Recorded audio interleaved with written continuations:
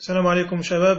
alors معنا اليوم. إن شاء الله غادي نحاولوا نكملوا الفيديو اللي عنده علاقة بالمرحلة الأخيرة من مراحل التنفس الخلوي إذا غنتكلموا على مراحل السلسلة التنفسية. هذه المرحلة هذه هي مرحلة مهمة جدا لأننا كنلقاوها بزاف في الوطنيات وفي التمارين ديال الوطنيات.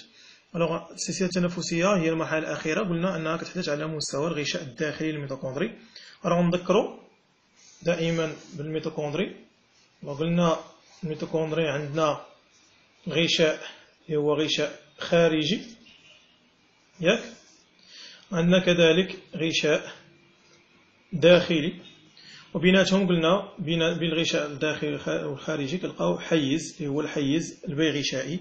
وداخل ال mitochondrie قلنا كنلقاو ال matrice. إذا داخل ال mitochondrie قلنا كنسميوهم ما المنطقة هذه كنسميوها pardon ال matrice. و bien sûr عندنا كيف ما كنعرفوا الأعراف.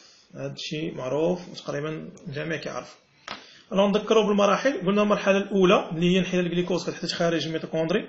المرحلة الثانية اللي هي أكسدة حمض بيروفيك كتحدث داخل ال mitochondrie في ال matrice. الثالثة تفاعلات حلقة كريبس كذلك داخل ال mitochondrie في ال matrice. المرحلة اللي نهضروا عليها اليوم هي مرحلة انحي تفاعلات السلسلة التنفسية اللي كتحدث هنا يعني على مستوى الغشاء. الداخلي للميتوكوندري.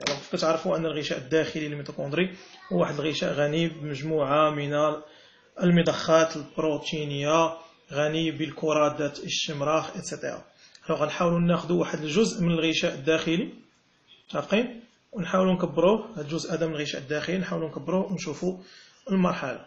alors كيف قلنا قلنا عندنا غشاء اللي هو غنعتبروه غشاء خارجي. متفقين وعندنا كذلك غشاء اللي هو غشاء داخلي OK هذا غشاء داخلي وهذا غشاء خارجي وبيناتهم bien sûr قلنا عندنا الحيز البي غشائي ولتحت عندنا هنايا المنطقة هذه كاملة اللي هنا لتحت نسميوها بالماتريس على مستوى الغشاء الداخلي قلنا كنلقاو مجموعة من النواقل البروتينية. مهمة جدا.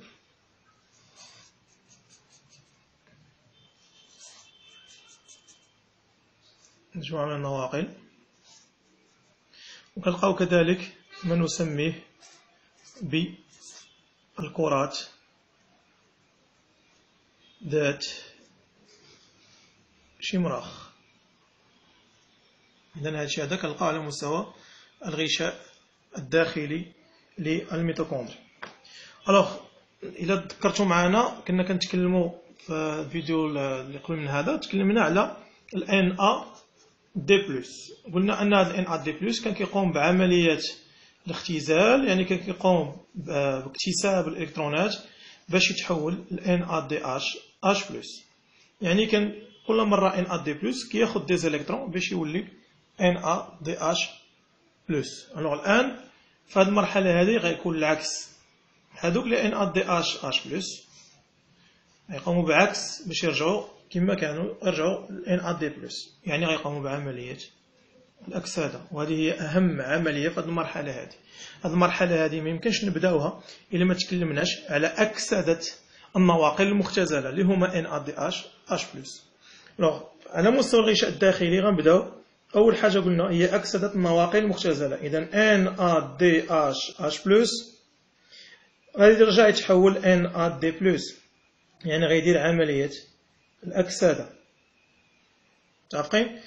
تذكرتوا معايا أكسدة قلنا هي ماذا؟ هي فقدان الإلكترونات إذا NADH H plus غادي يفقد un électron لما غيعطيه؟ غيعطيه لهذا الناقل هذا.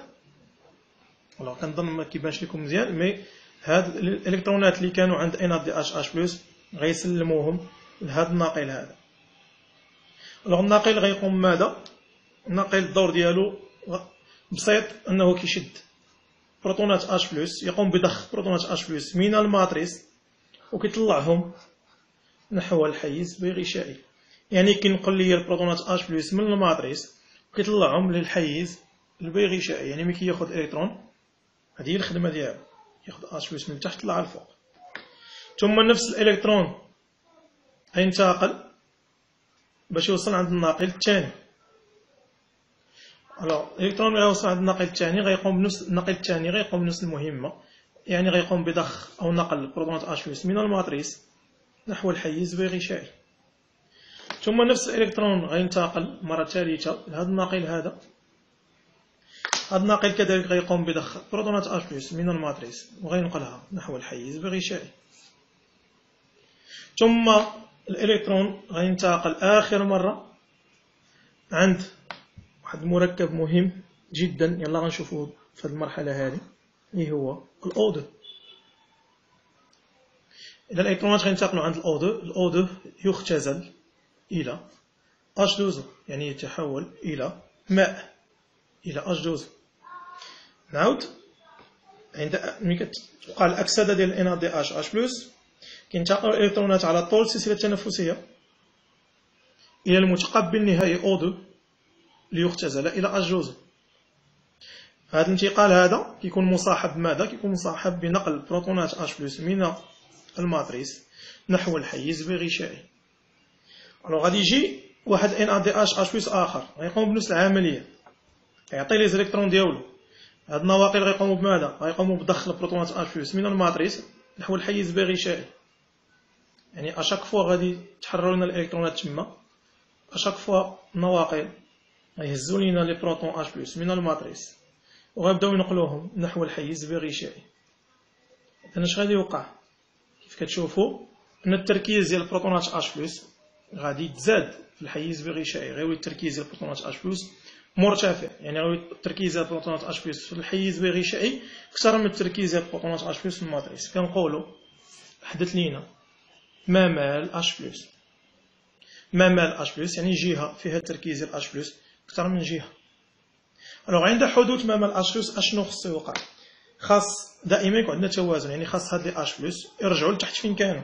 خاص هاد البروتونات أش بلس يرجعوا نحو الماتريس فعلا كيرجعوا البروتونات اش بلس نحو الماتريس ولكن كيرجعوا عبر الكرات ذات شمراخ كاع دوك les H+ يطلعوا كيبداو يرجعوا عبر الكرات ذات شمراخ كره ذات شمراخ شنو كدير كترجع ليا الاش بلس ولكن فيها واحد الانزيم مهم كيسمى ATP synthétase هاد ال ATP synthétase شنو كيدير هو اللي كيركب ليا ال ATP سميتو ATP synthétase يعني ي synthétise l'ATP يعني كيشد ADP + Pi وكيحولها وكيرجعها ليا ATP متفقين نعاود أول جملة تعقلوا عليها بغيتو تعقلوا على الجمل باللغة العربية أول جملة هي أكسدت النواقل المختزلة. إن أ دي اش اش بلس. ثم انتقال الإلكترونات على طول السلسلة التنفسية إلى المتقبل النهائي O2 ليختزل إلى H2 ثم ضخ H+, أو نقل H+, من الماتريس نحو الحيز الغشائي ثم حدوث الممال H+, ثم رجوع البروتونات H+, عبر الكرات. ذات شمراخ عاد يمكن نتكلموا عن تركيب ال ATP عندكم واحد المعلومة في الدرس كتقول بلي أن كل اش بلس يؤدي إلى إنتاج 3 ATP علاش؟ لأن هذا اش بلس واحد فاش دار الأكسدة ديالو. عطى الإلكترون هذا الناقل. هذا الناقل طلع لي اش بلس وحدة. هي مدور على هنا. انتقل هذا الالكترون هنا. طلع لي عاوتاني اش بلس انتقل هذا الالكترون هنا. طلع لي عاوتاني اش بلس إذا شحال ا بلس طلعت؟ طلعت ثلاثة ديال les H هاد الاش بلس غترجع غيتنتج ا تي بي الأول. هاد اش بلس غترجع غيتنتج ا تي بي الثاني. هاد اش بلس غترجع غيتنتج ا تي بي الثالث. إذا إن ا دي اش اش بلس كتؤدي إلى إنتاج ثلاثة ديال les ATP في حين في الدرس قالوا لكم لأن ال FADH2 كيعطينا غير 2 ATP علاش لأن ال FADH2 فين كيدير اختزال فين كيدير pardon الاكسده ديالو كيدير هنا اف ا دي اش 2 كيدير اكسده كيولي كما كان FAD+ يعني لما كيعطي الالكترون ديالو كيعطيه غير هذا الناقل ثم الالكترون ديالو كينتقل هنا الالكترون ديال اف ا دي اش 2 اش كيدير هذا الناقل كيهز اش بلس هذا الالكترون كينتقل هنا اش كيدير هذا الناقل كيهز اش بلس اذا ال FAD شحال طلع ليا من اش بلس يلاه طلع ليا غير زوج وحده فيهم غتهبط غتنتج ATP الأخرى غترجع غتنتج ATP إذا اف ا دي اش 2 كينتج ليا غير جوج ديال les ATP alors نتوقفوا هنا في هذه المرحلة هذه كنظن أنها أننا تكلمنا على المرحلة بما فيه الكفاية. بقاو على الاتصال إن شاء الله في الفيديو القادم ونحاول نتكلموا على التخمر. ما تنساوش تدخلوا القناة على اليوتيوب ولا page في فيسبوك T for all يعني SVT للجميع وان شاء الله نبقاو دائما اتصال مع معكم أستاذ سعيد جبارة. الفيديو الجاي ان شاء الله تبارك الله عليكم.